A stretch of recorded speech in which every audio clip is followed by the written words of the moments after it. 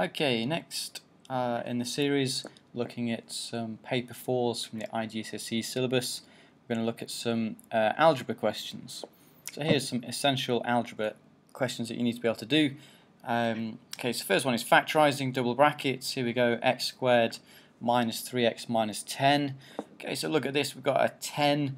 Uh, what are the factors of 10? Well, it's 10 and 1 or 5 and 2 we've got a minus 10, so therefore one of these is either going to be minus 10 or minus 1 or minus 5 or minus 2. So we've got a minus there somewhere, and they've got to basically add up to give us a minus 3 uh, as well. So we basically try the different possibilities, and we get this one is the one that gives us the answer. Minus 5 times 2 is minus 10. Minus 5x plus 2x gives us minus 3x. Okay, that's the first one. Uh, next one, solve 2x squared minus 2x minus 3 equals 0. Keep your answer to three decimal places. Okay, whenever you see uh, give your answer to decimal places, we know that it's going to be quadratic formula. Uh, it's not going to factorize. Okay, so uh, it's pretty straightforward. This as long as you remember the formula. A is 2, B is minus 2, and C is minus 3. Okay, so just write them down. So don't make any mistakes in this. Write them down. A is 2, B is minus 2, C is minus 3. Um, write down the formula, so minus b plus or minus the square root of b squared minus 4ac all over 2a. And the important thing is to uh, make sure you use the brackets. Okay, so as long as we stick the brackets in, we've got b is minus 2, so we stick minus 2 in here, and then we stick minus 2 in the brackets there. a and c, c is minus 3 all over 2a, so 2 times 2. Okay, um, and then to work out the answer, actually I don't know if I actually worked out the answer to this one, so you might have to do this yourself um, once you finish watching the video. Uh, basically, you're going to have two possible answers. The first one, um, just ignore the minus, and then just stick it all in the calculator exactly like that. As long as you've got a calculator that can handle fractions, it's all pretty straightforward, but make sure you put the brackets in, uh, you'll get one answer. And then the next one, um, again, put the, everything into the calculator, but ignore the plus and just put the minus there. So you should end up with two possible answers. Okay, uh, next one. Um, solve these equations. Um, so we've got 4x minus 7 equals 8 minus 2x. Okay, so we can just um, we can just rearrange everything. So if we just add 2x to both sides, we're going to get 6x. Add 7 to both sides, we get 15. Divide both sides by 6. There we go, 15 over 6. Okay. Uh, next one, uh, x minus 7 over 3 is 2.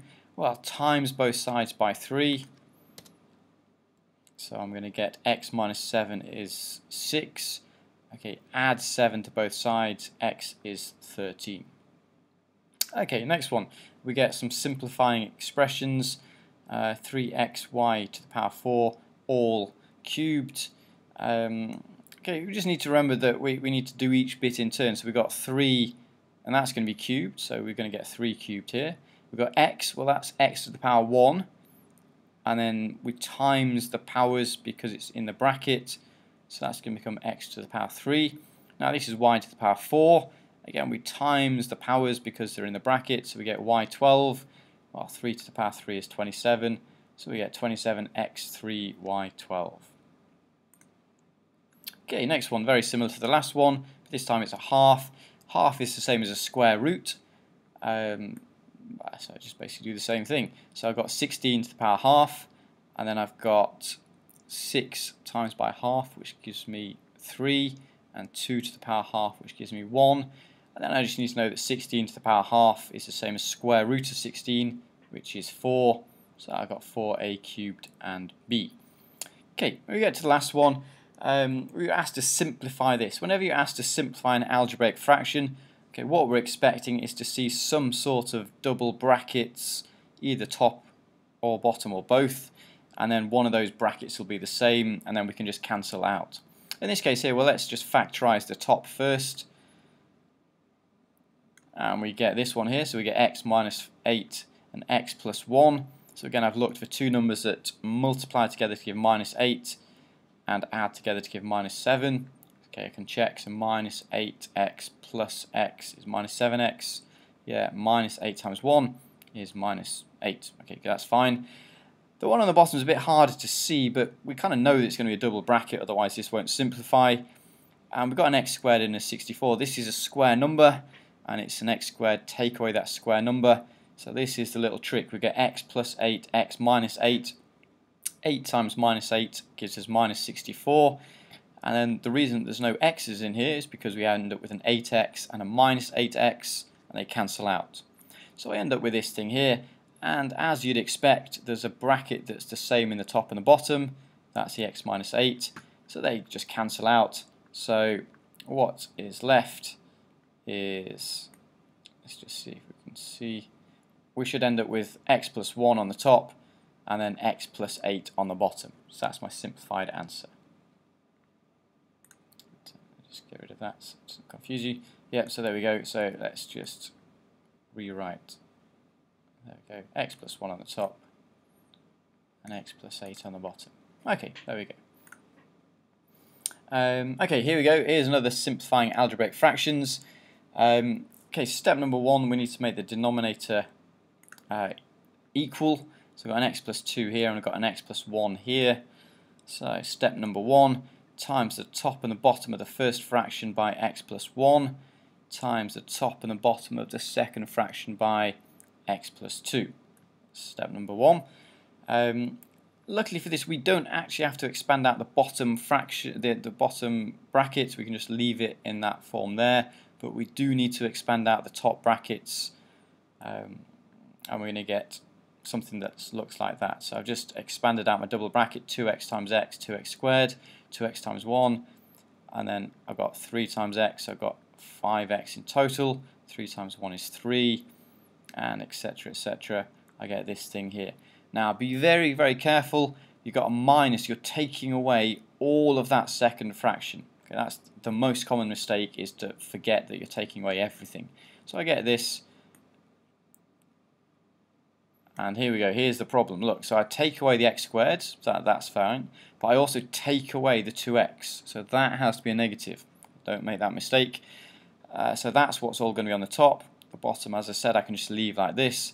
If I simplify all of that top bit, I'm going to get x squared plus 3x plus 3, and then I'm going to get uh, x plus 2, and then x plus 1 on the bottom.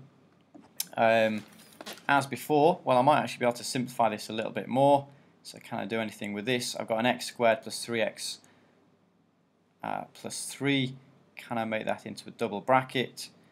I've got an x uh, plus 3, uh, an x plus 1. It's not going to work. So I'm not going to be able to get anything that's um, going to simplify giving me one of uh, things that are going to cancel. So I can therefore just leave my answer looking like this. So I've got an x squared plus 3x plus 3 on the top and an x plus 2, x plus 1 on the bottom.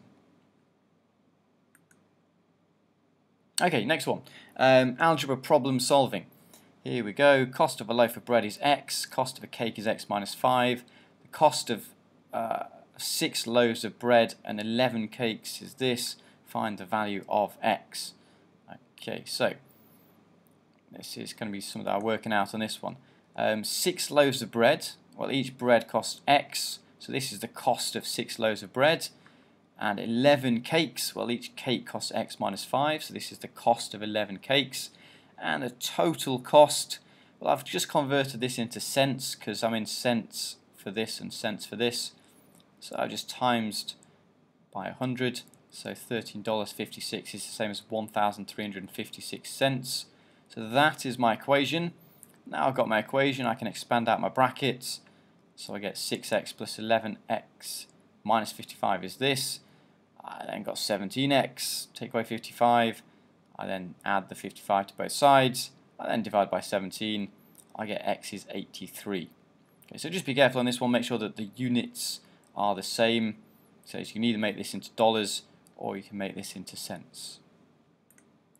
Okay, a couple more algebra problem solving questions. Uh, they like this one.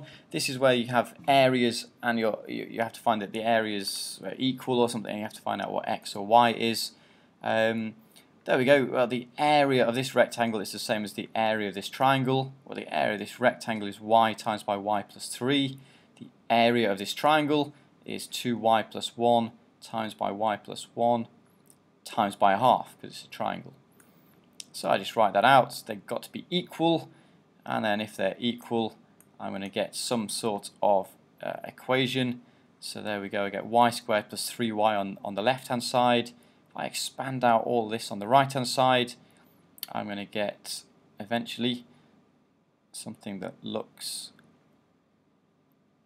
like this. So half times by 2y squared plus 3y plus y plus 1. Okay, from here you could times everything by half. In this case here I've just times both sides by 2. So I'm going to get 2y squared plus 6y equals what was left in the brackets there, which is 2y squared plus 3y plus 1. Okay, once you get to this stage here, you can notice that you've got uh, a 2y squared on both sides. So therefore, um, they're going to just cancel. So if they just cancel, if they cancel out, you're going to get 6y equals 3y plus 1. Therefore, 3y is equal to 1.